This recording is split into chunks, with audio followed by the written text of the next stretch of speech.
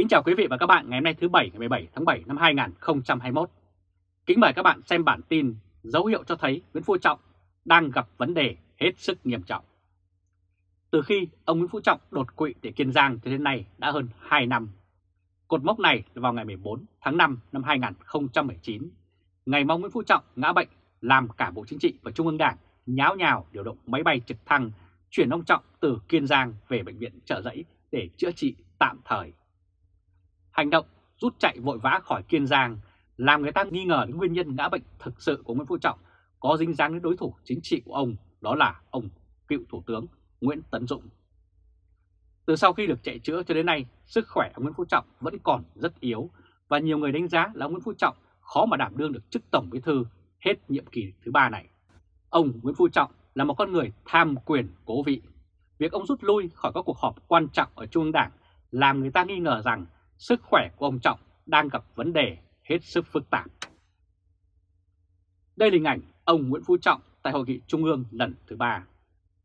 Vào ngày 15 tháng 7, báo chí nhà nước của Đảng Cộng sản Việt Nam cho biết ông Nguyễn Phú Trọng có thể ủy quyền cho một ủy viên Bộ Chính trị chủ trì Hội nghị Trung ương. Từ có thể nó nói lên rất nhiều điều. Có nghĩa là không chắc chắn khả năng ông Trọng nghỉ họp mà cũng không chắc chắn ông Trọng sẽ có mặt. Điều này cho thấy nó phụ thuộc vào điều kiện cho phép, mà điều kiện cho phép đối với ông Nguyễn Phú Trọng là gì? Chỉ có thể là vấn đề về sức khỏe. Ai cũng biết sức khỏe của Nguyễn Phú Trọng hiện nay rất tệ, nhưng vì vấn đề sức khỏe của ông Trọng là bí mật quốc gia nên không bao giờ báo chí trong nước dám đề cập cả. Báo chí cho biết khi cần thiết, ông Nguyễn Phú Trọng có thể ủy quyền cho một ủy viên Bộ Chính trị chủ trì các hội nghị của Ban chấp hành Trung ương Đảng. Đồng thời bổ sung quyền hạn trách nhiệm của Tổng Bí Thư là trưởng ban chỉ đạo Trung ương về phòng chống tham nhũng để tham gia vào thưởng vụ đảng ủy của Bộ Công an Trung ương. Có vẻ như người ta đang chuẩn bị cho tình huống xấu nhất có thể xảy ra, giống như chuẩn bị người thay thế vậy. Thật sự thì sức khỏe của Nguyễn Phú Trọng thế nào khó ai mà biết được. Người dân chỉ phán đoán thông qua những quyết định bất thường liên quan đến nhiệm vụ và quyền hạn của ông Nguyễn Phú Trọng. Và bổ sung quy định mới về ông Nguyễn Phú Trọng là một thông tin cũng được đưa ra. Vào sáng ngày 15 tháng 7, thông tin về kết quả Hội nghị Trung ương 3 khóa 13 tại Hội nghị báo cáo viên tháng 7 năm 2021 do Ban tuyên giáo Trung ương tổ chức. Ông Lê Hải Bình, Phó trưởng ban chuyên trách Ban chỉ đạo công tác thông tin đối ngoại của Trung ương cho biết, hội nghị hội bàn thảo nhiều nội dung quan trọng, trong đó tập trung vào tình hình kinh tế, chính trị, xã hội, dịch bệnh COVID-19 và các quy chế làm việc của Ban chấp hành Trung ương, Bộ Chính trị, Ban Bí thư, Ủy ban Kiểm tra Trung ương quy định về thi hành điều lệ đảng về công tác kiểm tra, giám sát, kỷ luật của đảng. Về thi hành điều lệ đảng, công tác kiểm tra, giám sát kỷ luật, ông Lê Hải Bình cho biết Hội nghị Trung ương lần này đã thảo luận và bổ sung nhiều điểm mới. Theo đó, bổ sung trách nhiệm và quyền hạn của ủy viên, ủy viên Trung ương Đảng bao gồm cả ủy viên Bộ Chính trị và ủy viên Ban Bí thư trong việc gương mẫu đi đầu thực hiện nghiêm các quy định của Đảng về trách nhiệm nêu gương.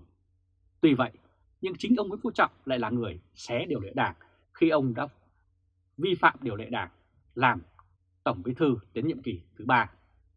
Đấy là những vấn đề thường niên cũng không có gì đặc biệt.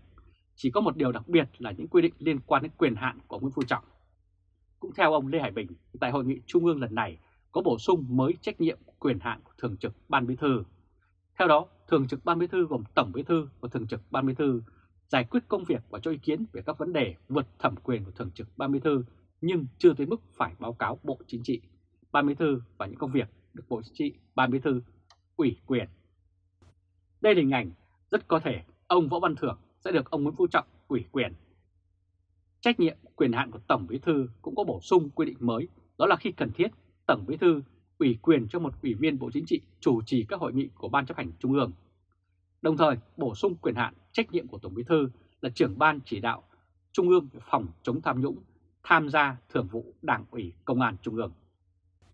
Trách nhiệm và quyền hạn của Thường trực Ban Bí thư được bổ sung nội dung như sau, định kỳ thường xuyên nghe báo cáo và cho ý kiến về tình hình triển khai các kết luận của Bộ Chính trị, Ban Bí thư, Tổng Bí thư để kịp thời nắm bắt tình hình và lãnh đạo chỉ đạo các cơ quan liên quan. Vậy Bộ Chính trị đang sợ đại dịch, đây là điều mà dư luận cũng cho rằng đang diễn ra vào lúc này. Liên quan hội nghị của Ban chấp hành Trung ương, bổ sung mới nội dung căn cứ vào nhu cầu tình hình thực tế trong các hội nghị trung ương bố trí thời gian để nghe báo cáo chuyên đề. Về quy định mới này, ông Lê Hải Bình cho biết khi thảo luận về nội dung này có ý kiến nói rằng trong tình hình mới có thể có lúc tùy vào nội dung công việc cụ thể có thể tiến hành hội nghị trung ương bằng hình thức trực tuyến. Đối với ý kiến này, Bộ Chính trị cũng nhấn mạnh tùy vào tình hình cụ thể, đặc thù và nội dung phù hợp để có thể tính đến chuyện đó.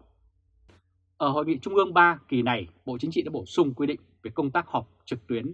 Điều này có nghĩa là Bộ Chính trị cũng đang tiên liệu đến khả năng xấu nhất là tình hình COVID-19 sẽ vỡ toang trên lãnh thổ Việt Nam.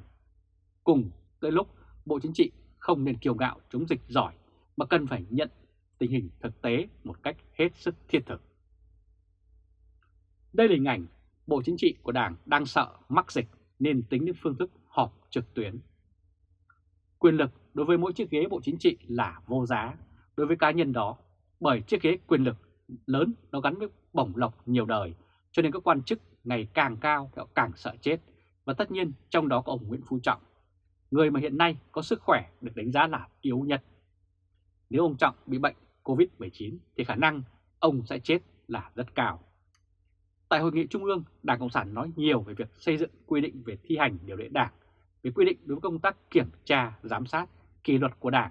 Ban chấp hành Trung ương lần này cũng quy định cấm sử dụng thiết bị ghi âm, ghi hình, thu phát sóng khi làm việc với chủ thể kiểm tra, giám sát.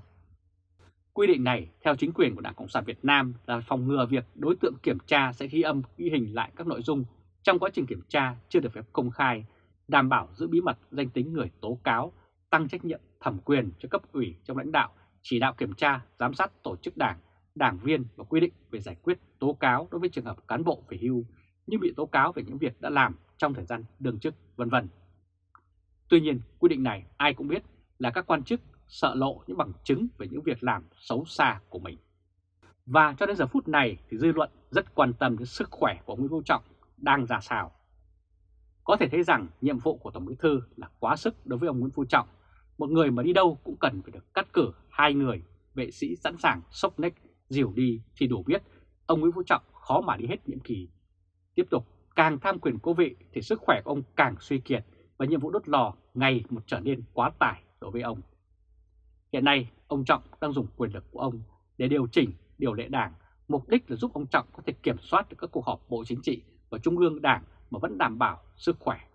Rồi đây, ông Nguyễn Phú Trọng sẽ lựa lúc nào tối quan trọng thì ông ta sẽ có mặt, còn khi nào không quan trọng thì ông Trọng có thể cử người khác thay thế cho ông. Đây là hình ảnh tình hình sức khỏe của Nguyễn Phú Trọng là câu hỏi to tướng với người dân cả nước. Có lẽ ông Trọng cũng biết sức khỏe của ông hiện nay ra sao nên mới chuẩn bị đến như vậy. Nhiệm vụ 5 năm là rất dài, với sức khỏe như ông hiện nay, người ác mồm còn đánh giá rằng có thể ông Nguyễn Phú Trọng sẽ không sống nổi đến hết nhiệm kỳ này. Ông Trọng hiện nay đang nắm chiếc ghế quyền lực cao nhất của Đảng. Rất nhiều kẻ đang ngắm nghía chiếc ghế của ông.